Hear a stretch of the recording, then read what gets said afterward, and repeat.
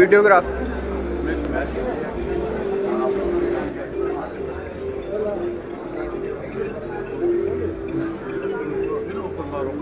वहाँ के लिए। इन साइड में खड़ा